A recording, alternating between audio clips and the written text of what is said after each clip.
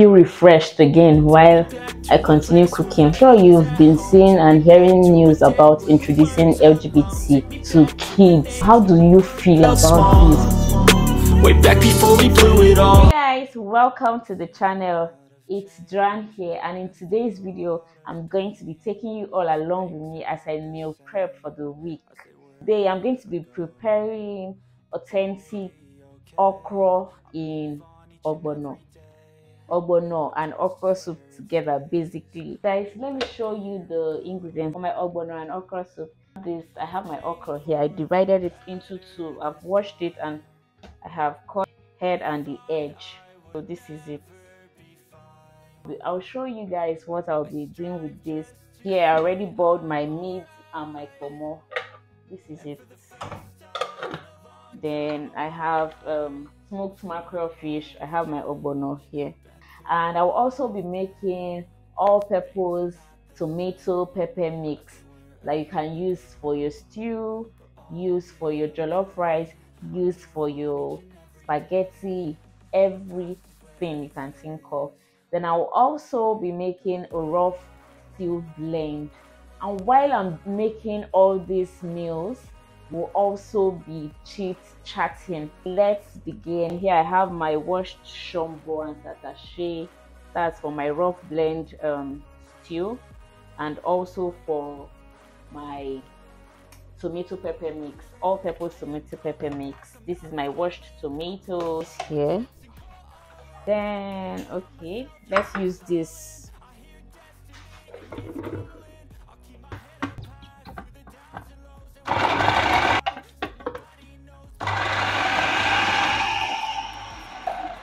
I've gotten what I want.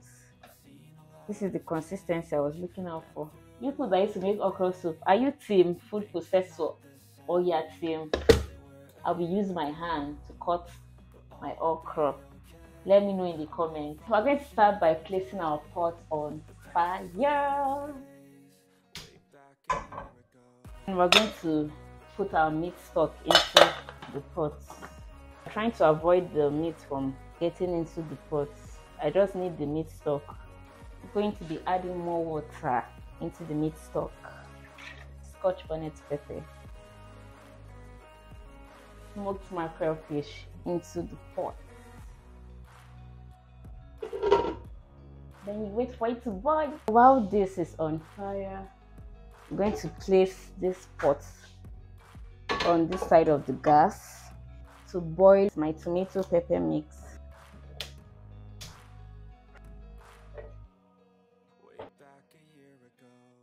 This is my tatashe, shombo, and scotch bonnet pepper.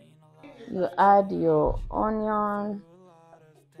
We're going to take out our fish now so it doesn't scatter.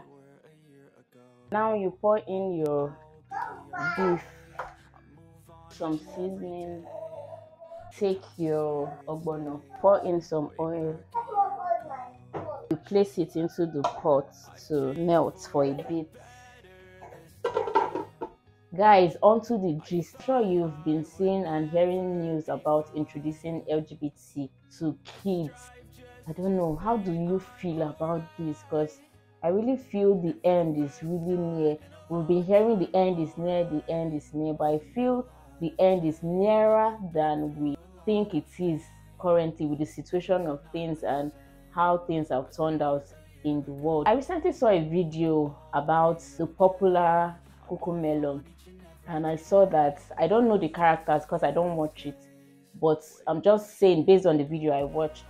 So there's this little boy in the Cocomelon cartoon, and he was sad and he was singing to his parents. His parents are two males, two dads. He had two dads, and he was singing and saying he cannot decide. He was holding two um, clothes that he can't decide what to wear. He was just sad and the two dads came and they were singing they knelt down towards him and they told him it's good to be yourself just be yourself and they be yourself he went inside and he came out ballerina he wore a skirt uh, a tiara and something small like a jumper and i was like what is happening here? Like, be yourself.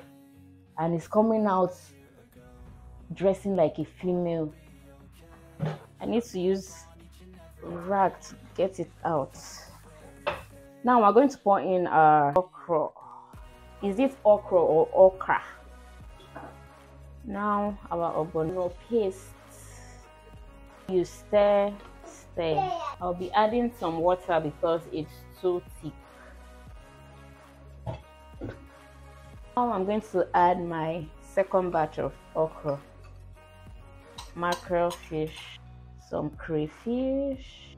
And I was like, God, we really need to handle our children, instill in them the morals of God and teaching them what is in the Bible right from now because the world is really turning into something we don't know. How can you introduce such to little children, two years, three years, four years? Like you're already telling them that it's okay to be yourself where you want to be yourself, which means being yourself, you can be yourself. You can be a male and be a female, or you can be a female and be a male. Like I don't understand. And when I was reading comments, I was seeing that there are other cartoons also that they're already introducing such into those cartoons. And I'm like, where are we going from here? We're almost done. Now you stare. See how thick this looks, guys. See. I think I might have to add a little bit of water. Now you pour in your vegetable. I'm using ugu. That is pumpkin leaves.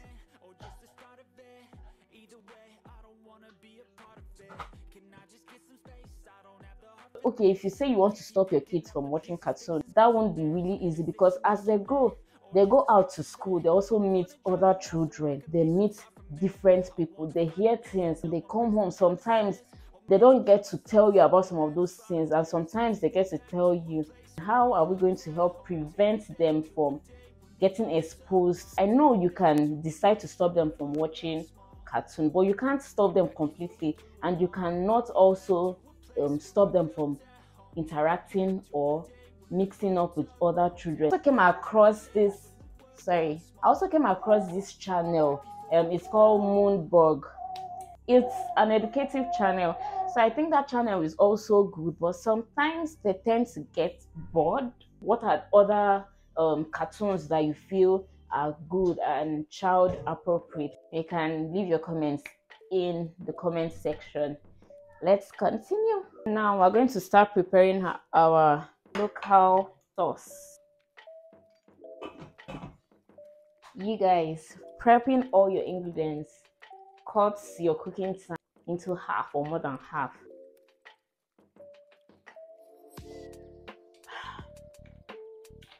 I feel refreshed again while I continue cooking. This is Kunuzaki millet and guinea corn drink. I made this a few days ago. Your meat and your ponmo. So this is okay i'm just going to drain the water and allow it cool down before blending and storing in the fridge or freezer whichever one you have but i'm going to be using half of it to make a little amount of stew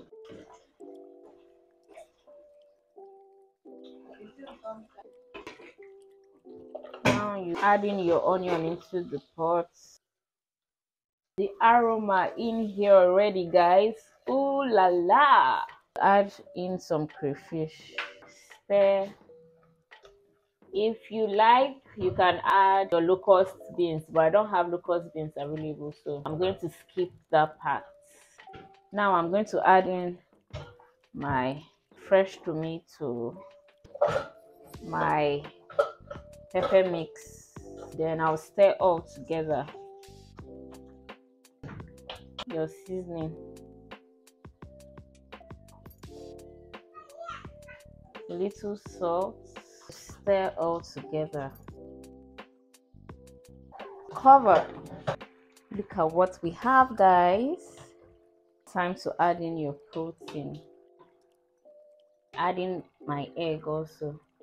I'm going to poke in some holes so that the sauce will enter into the egg.